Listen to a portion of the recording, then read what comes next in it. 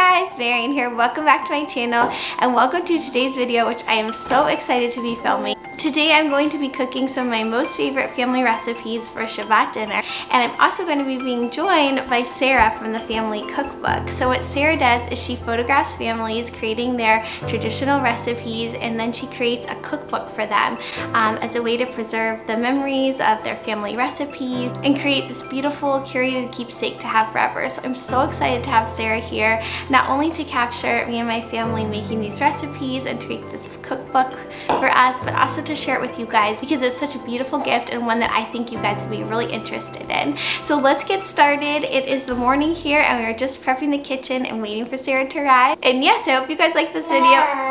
Yes, the babies are here. Um, if you do, give it a big thumbs up and don't forget to subscribe to my channel down below. And also definitely follow me on Instagram if you want to see more of Sarah's photos because I'll definitely be posting them all there. All right, let's jump in. Okay, so it's pretty early in the morning here and Sarah's gonna be here soon, but I just wanna show you guys how I prepped the kitchen to get ready. We got the baby over there having breakfast. Um, I've got some ingredients and supplies out for the two first recipes we're to be making. One is my challah for Shabbat recipe and another is my um, cupcake recipe. And then I just tried to clean and declutter the kitchen a little bit so it looks nice and have a few things out ready to go for some recipes. So yeah, it's very nice to see the kitchen looking nice and I just got some flowers. I haven't put them in a vase yet, but I'll see what Sarah thinks I should do with them. Maybe just leave them in this picture. I think they look nice. so that's the kitchen all ready to go and then I'll show you guys um, some other family stuff that we took out for the photo shoot. So I just took out old family photos and some old cookbooks because there's some recipes in here that I want her to photograph. So I'll just show those to her and let her pick. And then also some um, family Judaica and stuff that we use for Shabbat that I want to make sure um, we get photos of. So Sarah arrived and the first recipe I started working on is my challah recipe. I wanted to capture all of our special recipes for a Shabbat dinner. That was kind of my theme for the cookbook. We also included lots of recipes from other holidays, but I wanted to make sure Shabbat was really covered. So we started with the challah. This is a recipe I've shared before on my channel many times. I'll link it again. It's really simple to make. Anyone can do it, I promise. And it's great for making different shapes with the challah. So if you like braiding interesting designs and being creative, I love love this recipe for that.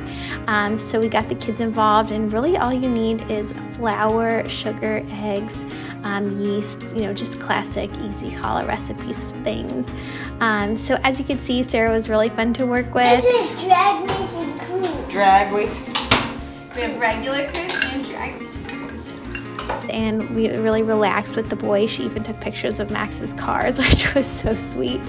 Um, next up was my mom's chicken recipe. I think I've shared this one as well. I'll, again, I'll put um, all the recipes in the description below, but we call it salad dressing chicken. It's the easiest thing in the world. All you need is oil and Italian salad dressing, the one that's not um, creamy, just the oil Italian.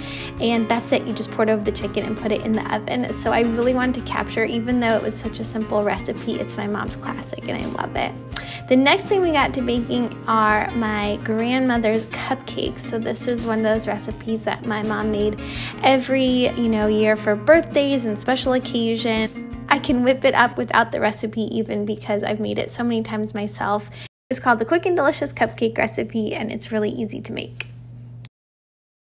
So we're about halfway through our little cooking morning here. We've done our challah dough, our cupcakes, and some chicken. And I'll just give you guys a little uh, sneak peek of what we got going on.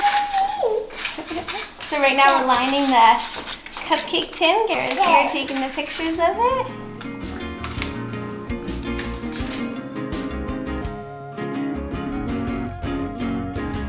So at this point my challah dough had risen enough and it was time to braid it. All I did is divide it into three even pieces and roll them out. Then I brought my son over and got him to help me a little bit with the braiding. Mostly he just watched, but it was really cute. I wanted to get the boys involved as much as I could um, and just capture them, kind of experience making these recipes with me. Okay, so we're almost done. We finished up the challah, the cupcakes, and the chicken. I'll show you guys a little sneak peek. And then we have our bubby here. We're gonna do some older family recipes. I'm not gonna film that, but you guys will see them in the photos, so they'll be nice. And yeah, I'll give you guys a sneak peek of the challah. So then my mother-in-law came over and she was making her classic matzo ball soup recipe, which is what you see on the stove top. And then in the oven, we've got the chicken and the challah. So it's like a full Shabbat dinner ready to go and it smelled so, so good. Oh my goodness. This is what the challah looks like when it's come out of the oven. It was so beautiful and you can tell it's homemade, which is what I like about it. And the last thing we did was sprinkle some sprinkles on my favorite cupcakes. So I'm here with Sarah. We actually just finished our shoot. It went so, so well. So I want Sarah to introduce herself and what she does a little bit so you guys can find out more. Hi guys, I'm Sarah Yeoman, creator of The Family Cookbook. I create custom cookbooks that document family food traditions and family recipes. Um, basically, what you just saw with Marion is exactly what I do. I come into your home and I photograph you and your family cooking together and then I take your family recipes and all of your favorite images that we made during our session and I put them into a beautiful heirloom cookbook that you can pass on to the next generation. Um, so that's basically what I do, and I had so much fun with Marion here How today. did we do? Did we I think okay? you guys did great. Wait, and Sarah actually tasted some of the food, so tell them honestly, yes. was it good? Yeah, it was great. I'm like, I have to say, I have chosen a very well-fed uh, profession, um, and your kids were great. I love everybody was just so relaxed and just themselves. Yeah, we honestly had so much fun this morning. It was a real treat. My husband stayed home from work for a little bit, yeah. so it was just really nice. So thank you so much, Sarah, for being here. I will put all of Sarah's details and links below. I have a offer code for you, which I will put on the screen and link below. Thank you. Okay, so that was a few weeks ago. It's kind of crazy how much has changed in those few weeks as that was um, the very first week of March. I think maybe even March 1st or 2nd that Sarah was at my house. And that was before the whole world changed. But I'm so thankful that she was able to come and photograph that for us and to capture those memories and those traditions and my family's recipes even the family members that couldn't be there and just capture all of that for me is just especially now so heartwarming. I know there's so many moms out there for Mother's Day who would just appreciate a gift like this so much. It's definitely something that's expensive and heirloom quality and I totally understand that, um, but I know it's something that I'll treasure my whole life long. And on that note, let's open it up and see it. so yeah, this arrived. I have not seen it yet. This is the beautiful box it comes in. Oh, it's in this cloth. Oh my goodness. Oh my goodness, it's a whole gift box. Sarah. Oh yeah, that's so nice. Okay, read the card. Oh my, this is so sweet, especially at this time where finding these things is near impossible. Okay, and here it is.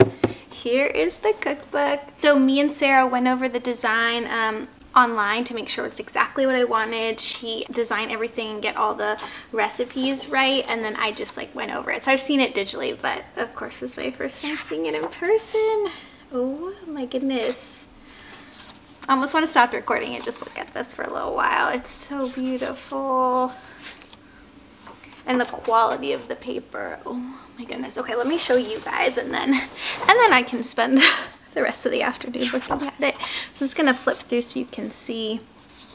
So we got all the amazing pictures she took in here and then um, all of our family recipes she digitized for us so we are able to capture them it's just so amazing to have this. And then um, this is a page I wanted to make sure to include. It says family is the sweetest thing of all.